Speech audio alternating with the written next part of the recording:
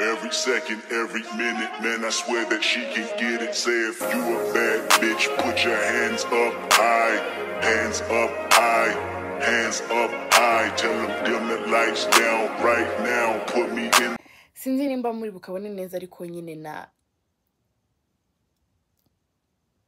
bonjour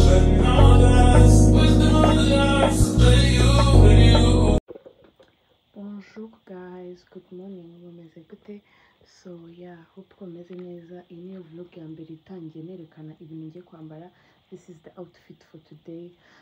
N'inkweto amasogisi amarinete. I'm still thinking. Menshi zanjye ntabwo zaba zivamo ndi gutekereza nimba ndi bwambare zino zino ndareba izijyanye. Amaherena n'isaha agapira isakoshi um, hano dufite iki package y'umukiriya? Ni saa ngapi guys? Ni saa mbiri ngomba kuba nageze saa tatu. Rero mwese mumeze neza. Nayo nzi ko ndi bubyuke nkajya gufata kofi nkatinga nkaho nkaho mu gitondo mfata kofi buri munsi kandi nta n'umunsi n'umwe. Usibye uno munsi nari ndi kuyipanga ariko natinze natinze cyane cyane icyo nzi cyo saa tatu zigiye kugera kandi bazindi kure kugira ngere ahantu ngiye gukoresha inzara birafata nk'iminota ingahe? Ntabwo mbizi.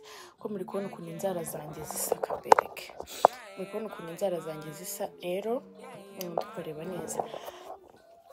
Rero biransaba ko nihuta. Nibagiwe no kwisigara bero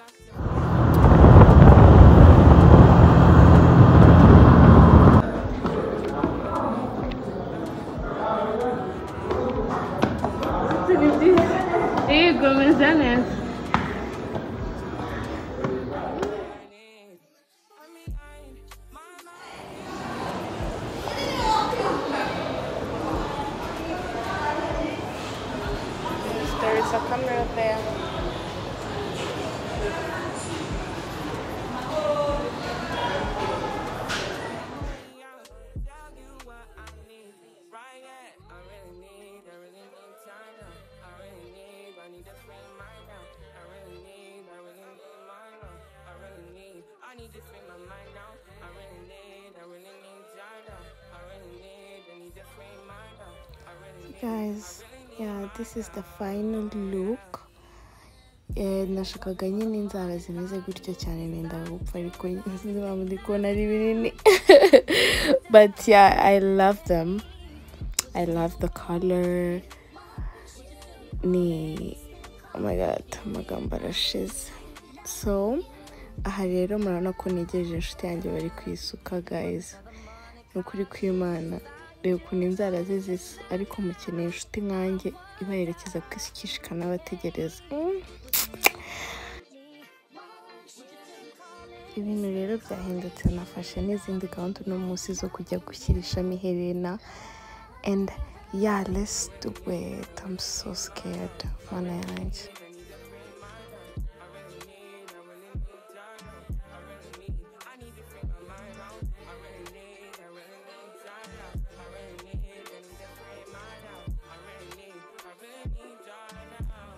Guys birangiye rero nsohotse ntabwo nari nabipulaninze ariko let me show you guys the outfit. Yes stepping looking like a snack. Yeah, stepping looking like a snack. Big boy can you handle that? That that ass. And guess what? I went to chillax to see my guy kenny kenny saw Oh my god guys sinshaka kuvuga ibya DJ waho yaraboze mana umva natashye nicuza.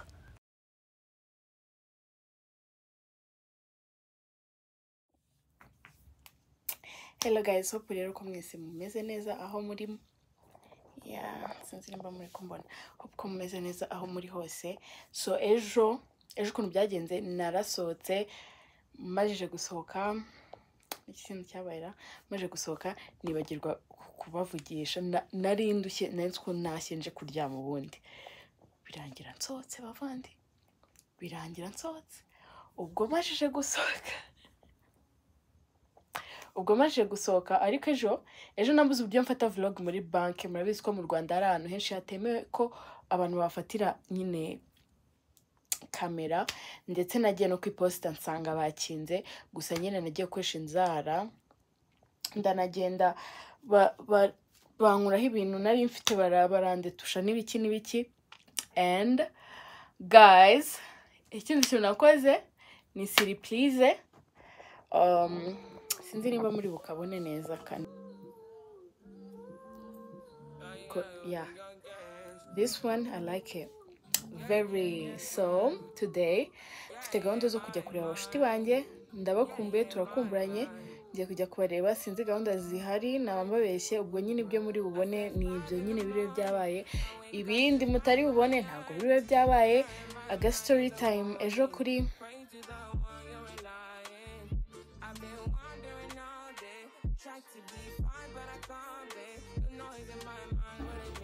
N'undi mushuti wiwe wasohokanye So we actually went to this place, but I didn't like the place, so it's the girls. tudesize ko tugiye murato sibyo kurya just for food guys. Ni amazi nubwo mutagaragara ase hagize umuntu nkonekita koko I look so beautiful. Umva radiyo umva radiyo na yo I look so hano nawe beautiful. Bose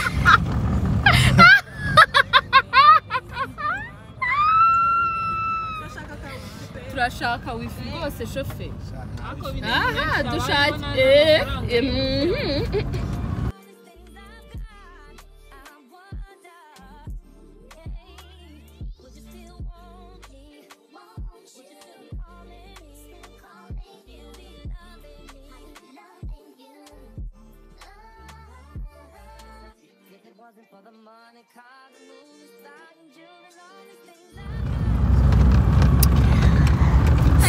Hello, say hi. Hola. Girls. Ako si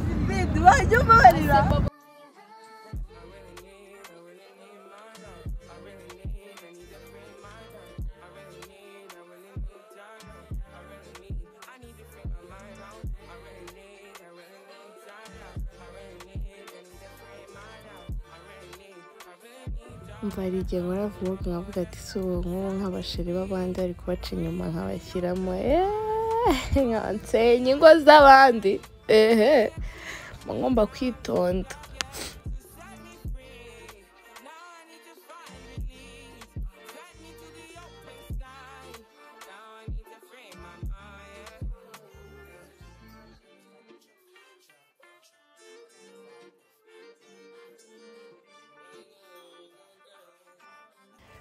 So guys twasabye kunywa mojito, mojito, mojito, sorry, I don't speak Kinyarwanda.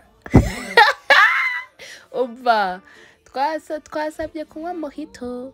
Uno muhungu rero namusabye izo nzara mubonamo ni iz'umukobwa bita Ana ut- utashakaho umutuzo. Twasabye rero kumufata, nasabye actually kumufata video ari kwikora enda arabyemera. Reka turebe process. Said five in the morning. I wake up to five for my earnings. Fear in my mind is a warning. Pray to the one you're relying. I've been wandering all day. Try to be fine, but I can't be. The noise in my mind wouldn't leave me. Try to get by, but I'm burning. I'm behind. My mind it runs. All these thoughts are troubling. guys ukuri kw'imana reka mbabwize ukuri nanjye ndi muhito iri virgin ndanywa iryoshye nkiyingiyi noneho twanamubwiye ngo twongeremo udufanta aremera nyine n'abana biza pe serivisi yaho ni mwa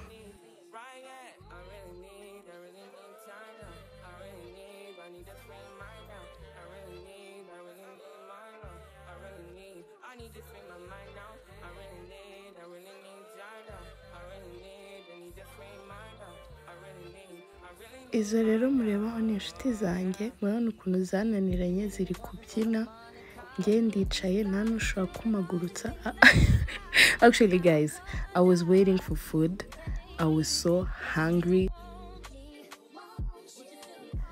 The food is here. Oh my god, I'm so excited. Nubwo telefone yanjye flashlight yapfuye, but yeah, ibiryo bya hano biraryoha. Noneho uyu mutipe utanga serivisi hano ni isi mu buzima. Yeah, let's eat.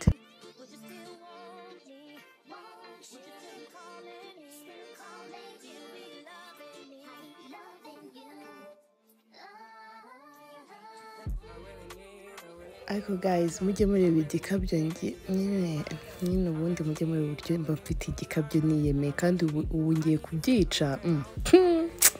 nahise ntabwo ngiye wanungura. Icyo ni igikabyo gusa. Nahise mbabarira oya oya kabiri se kersi we ahora agerageza.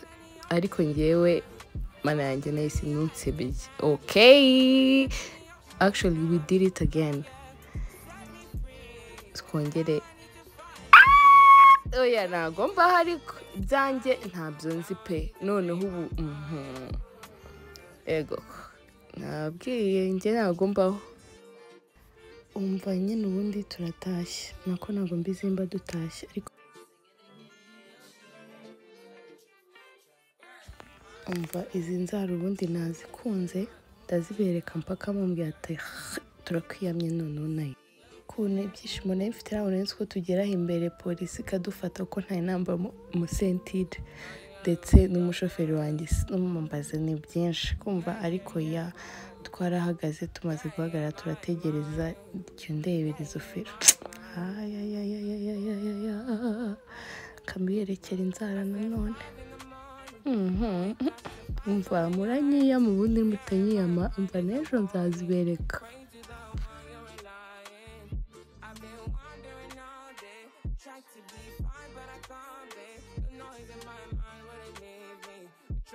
umwe mu nshuti zacu yaradushuke ngo tujye ahantu heza. Bwamundebera ahantu nta muntu n'umwe uhari. Twasize mu gato huzuye abantu. Gayizi agahinda kanyishe mukabyaramo reka twitahire nyine iwacu tujye kuryama. Gayizi mboneye no kubabwira uburyo aba bana mbakunda nasaze ndenda gupfa nzabapfira bose. Twatashye rero. Ngiye kunywa yogurt hangover nabyutse nabi nanarwaye n'umutwe. But thank you guys for watching. Hope ko mwenjoyinze iyi mini vlog. Yeah i love you guys and be safe. God bless you. Mm, bisous